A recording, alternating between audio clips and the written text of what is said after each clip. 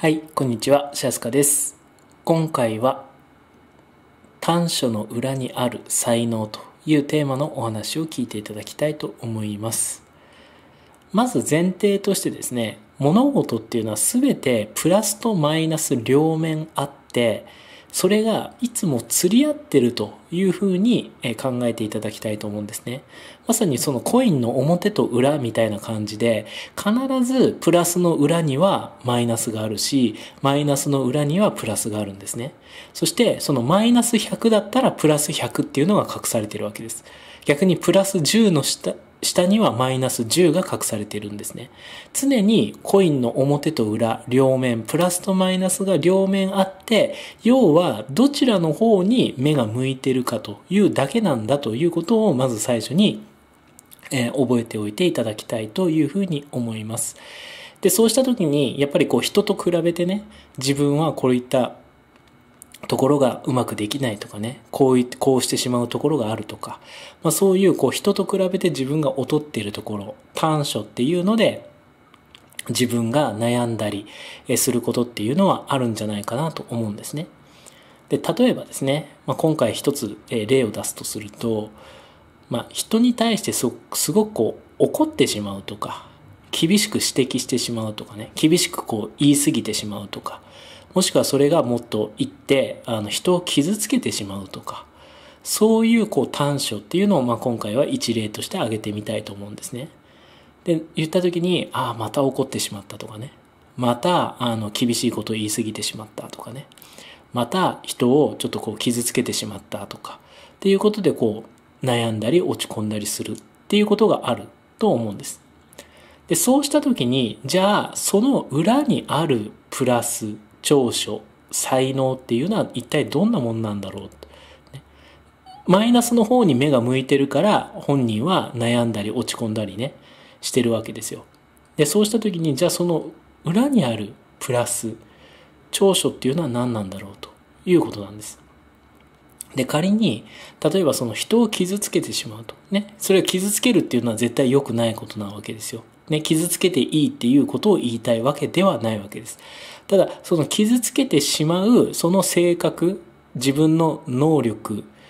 の裏にあるものは何なんだろうっていうのを考えていきたいわけですね。で、そうした時に、傷つけるっていうのの反対っていうのは、癒すってことなんですよね。人を癒してあげる。っていうのが反対にあるわけです。で、傷つけること、人を傷つける人、人っていうのは逆の言い方をしたら人を癒す才能があるという言い方もできるんですね。プラスとマイナスの両面を見ようとしたらですね。で、例えば、心っていうのは目に見えないので分かりにくいので、目に見えるこう体の話を先にしたいと思うんですけど、例えば体でですね、何かこう病気がありますと。ね、えー体の面で病気がありますと。そうした時に、じゃあお医者さんって何をするかっていうと、その根本原因、その病気を発症させている根本の原因は何なのかっていうのを一生懸命探すんですね。で、それを見つけるのがものすごくこう大変だったりするわけです。だから病院の先生っていうのはすごいたくさん検査をして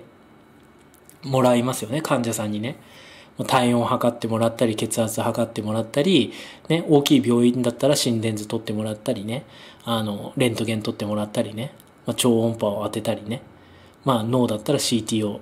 取ったりね、もういろんなことをするわけですよ。で、なんであんなにたくさん検査をするんですかっていうと、結局その目に見えるその表面上の症状ではなくて、その症状を発生させている根本の原因を探したいわけです。だからいろんなことをしてもらうわけですよね、患者さんに。で、たくさん検査をするわけです。で、たくさん検査をした結果、根本の原因が見つかったら、じゃあどういう対処をするかっていうのを決めていくわけですね。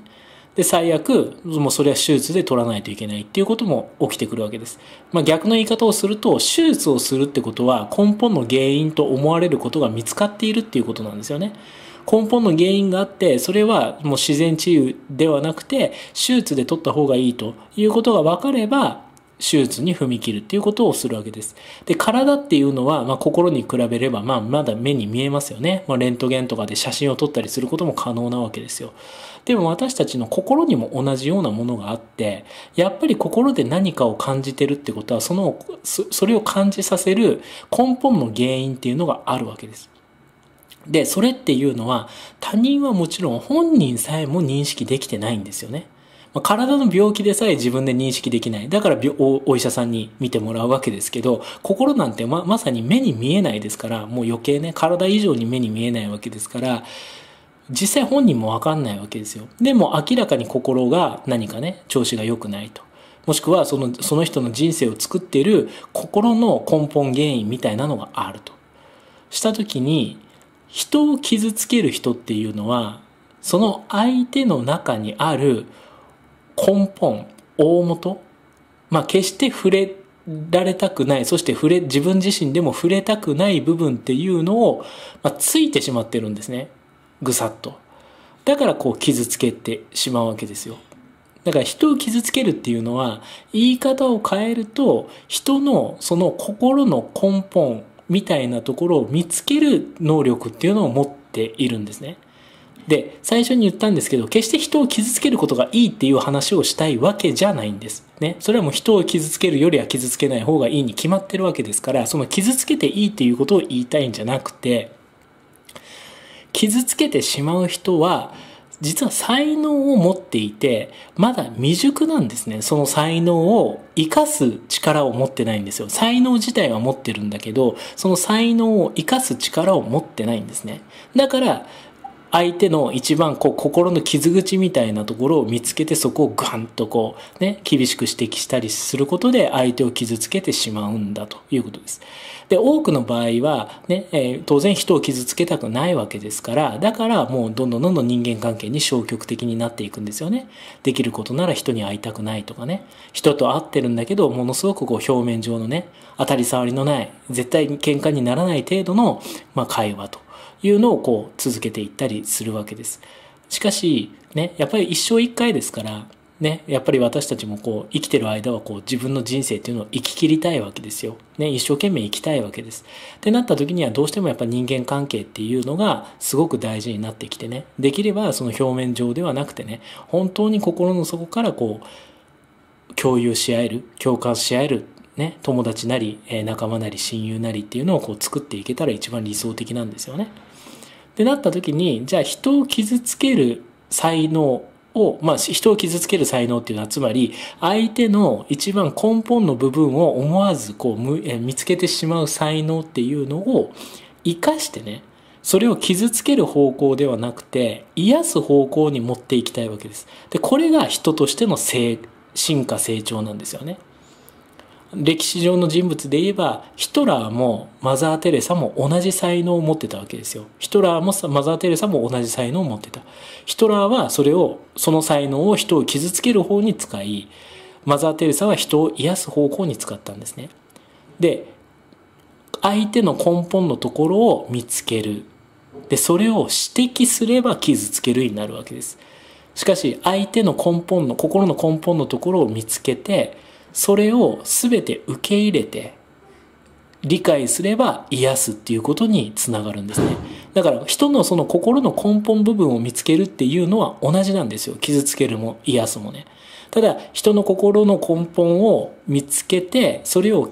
指摘すれば相手を傷つけることになるんですけど根本を見つけてそれを理解に徹して全て受け入れてあげたら癒すってことにつながるんですね。で、それがこうヒトラーとマザー・テレサの一番違いになってくるわけです。同じ才能なんだけど使う方向が違ったんですね。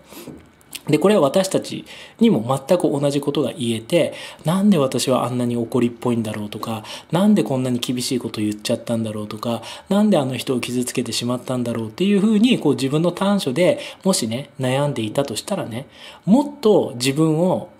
成長させて進化させていく。で、具体的に言えば自己コントロール力をつけていくということです。自分の思考、物事の考え方とか感情とかっていうコントロール力をどんどんどんどんつけていくと、ね、相手の、あ、ここが一番相手の心の核心部分だな。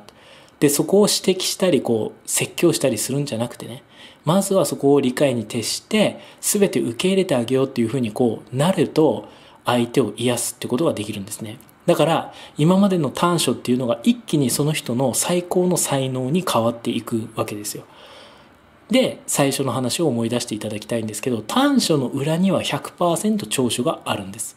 で、その短所がマイナス10だったらプラス10の長所がある。マイナス100だったらプラス100の才能があるんですね。で、そういうふうに物の見方次第なんです。私たちの人生というのは。どっちの方をよく見る習性があるかっていうだけなんです。だから自分の短所をよく見る人っていうのは他人の短所も探すんですね、無意識に。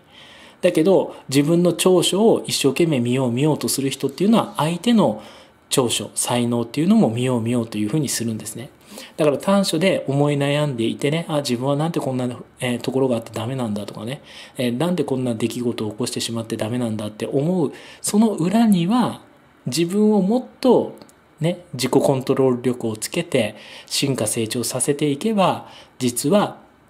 自分の才能を掘り当てることができるんだと。いうことです。なので、ぜひね、え短所の裏には必ず才能があるんだと。ね、それを活かすことができさえすれば、今はまだ自分のね、自己コントロール力が未熟。だから活かせてないんだけれども、でもそれを活かすことができれば、ね、人を傷つけるエネルギーが人を癒すエネルギーに変わり、自分にとってマイナスとかネガティブだと思ってたものが実はポジティブプラスに変わっていけるんだと。ね。